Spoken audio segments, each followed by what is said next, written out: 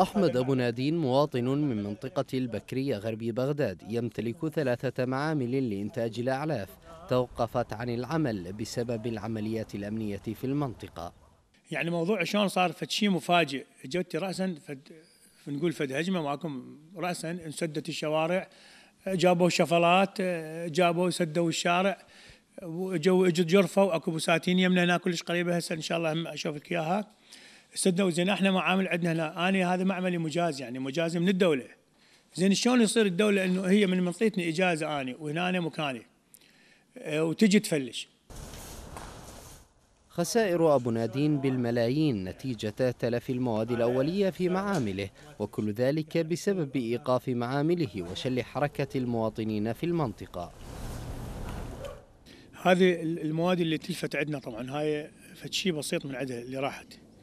واللي اللي أضرب من عندها بعد العمل اللي كان يشتغل عندنا. يعني أنا كنت قبل عندي عوائل هنا تشتغل وياي عمل.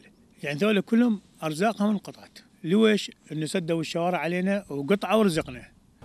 الهدف من هذه العمليات تهجير أهالي منطقة البكرية وتمرير مخطط التغيير الديموغرافي الذي أصبح واضحا معلوما.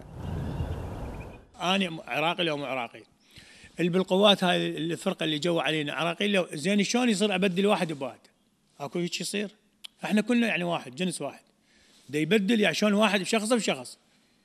ما أعرف شنو الوضعية ما دافتهم يعني لحد الآن إحنا مستغربين هالشغله إنه يشيل دول العوائل وبيوتها كلها وأجيب وأطلع شفلات وأفلش وأطلع والله شنو حتى أجيب جماعة قاعدهم هنا أنا ابني؟ أهالي المناطق المحددة بمشروع التغيير الديمغرافي أصبحوا يدركون هذه الحقيقة بمجرد دخول عجلات القوات الحكومية مدعومة بالميليشيات إلى مناطقهم. تبدأ الأمور بالتضييق عليهم وشن حملات الاعتقال ومن ثم إجبارهم على المغادرة.